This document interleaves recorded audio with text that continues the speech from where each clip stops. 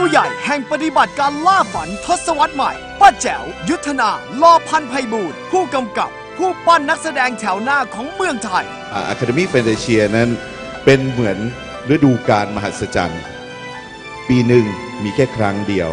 แล้วครั้งเดียวนั้นน่ะมีเวลาอยู่แค่ 3 เดือนเท่านั้น ขอบอกว่า Academy f a n t a s i a ทำให้พวกเรามีความสุขมาก ขอแนะนำผู้ช่วยครูใหญ่ แห่ง True Academy Fantasia ทศวรรษใหม่ คุณแมวจิรศักดิ์ป่านภูมิศิลปินร็อกชื่อดัง แห่งวงการเพลงไทย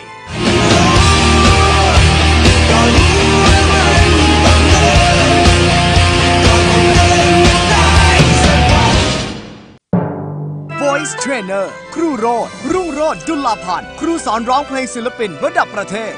มันเป็นอีกการทำงานหนึ่ง มันเป็นอีกชีวิตหนึ่ง มันเป็นอีกบทเรียนหนึ่ง ซึ่งมันจะทำให้คนคนหนึ่งได้ก้าวขึ้นไปสู่ฝันของตัวเองเนี่ยสามเดือนที่ย่อลงมาไว้ใน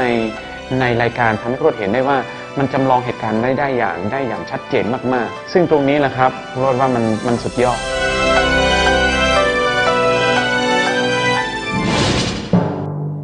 Acting Trainer ครูเงาะรสสุคนกองเกต ที่สุดของครูสอนการแสดงและ Acting Coach เมืองไทย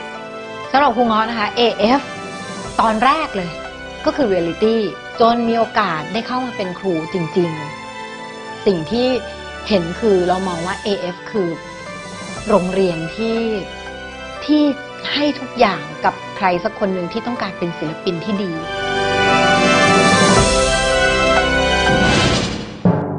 Dance Trainer ครูเจดา อภิสราช เพชรเรืองรอง